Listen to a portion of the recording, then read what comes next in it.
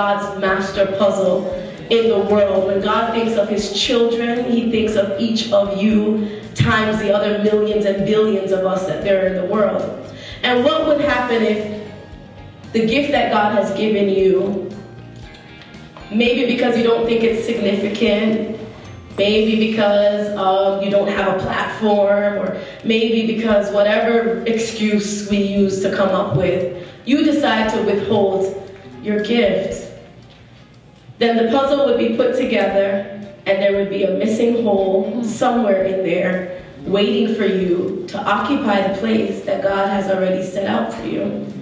And it only goes to show that if God has a big image of all of his children and you are one of them, then I can't allow anybody to try to push me out of the place that God has already prepared for me. I am a puzzle piece in God's master puzzle, so that I have to walk in that and I have to live in that.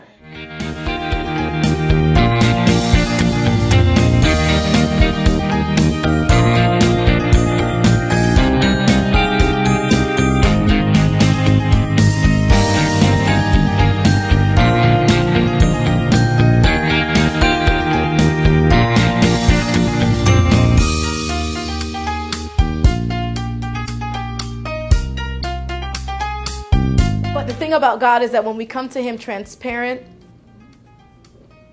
as if He doesn't already know, I don't know why we try to keep it from Him. Like, you can put up the facade with me because all I see is beauty when I look at all of you right now.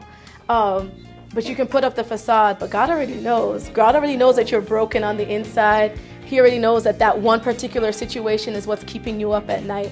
Go to Him with that. When you're transparent and just lay it out before Him, uh, when you're diligent, when you get some discipline, and when you're committed to what God has asked you to do or committed to, it's not good enough to just say, I, I struggle with um, discipline. And then I'm just like, so, you know, that's just, that's just who I am. Like, no, God doesn't want you to struggle in any area of your life. Put some work in.